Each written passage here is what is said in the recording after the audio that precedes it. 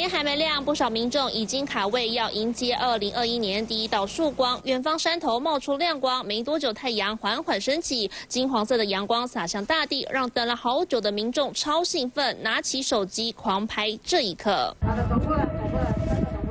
今年第一道最美丽的曙光就在阿里山，清晨七点零五分从玉山山脉中探头，加上周围云海环绕，美的就像是一幅画。不过，同样追曙光，其他地方却没有这么顺利。祝福您在二零二一年有个愉快的开始，一起和明日号在台东。迎向明日，台东县长饶庆林也特别起了一大早办起明日号列车长，热情迎接外地游客，期待可以看见二零二一年最美的曙光，但结果却不如预期。那会不会很失望没看到？不会吧？因为还是有一点点。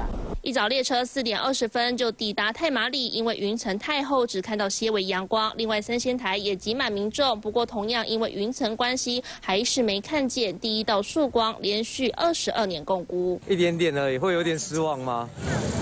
大家看着有点小失望。你们是哪里来的？哦，我们从台北过来，都被遮住了，对啊，差不多一点光而已，都被遮住了。有没有觉得蛮失望的？有一点。